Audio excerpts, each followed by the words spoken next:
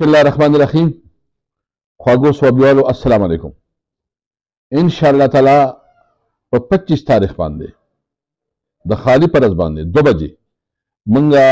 د دې ګرانې خلاف د ناجایز د ټیکسونو خلاف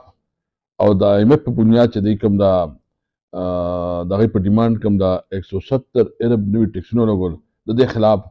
به ان شاء الله موږ راوځو صوبې امن چوک ته د مالسوابۍ ټولو خلکو ته خواست دی که هغه تاجران دي که هغه ټیچران دي که هغه سټوډنټان دي که هغه د مزدوران دي که هغه زمیندار دي ټول به راوځي ځکه چې ښایي به خلکو ته چې دا ظلم نه منو دا زیاتې نه منو ستاسو خو دې په ټول وسایل ټول دولت دا دې په یورپ کې په امریکا کې او په انګلند کې پروت دي او دلته دې چې دی زمونږ ملک د تباهي طرف ته یو روزانه د نوي ټکسونو په شکل کې د ګرانۍ یو تکلیف دی دغه موږ عوام تېروو دا بجټ موږ ته نامنظوره دی ومنګ صرف او صرف د بنګای خلاف ان شاء الله دا جنگ دی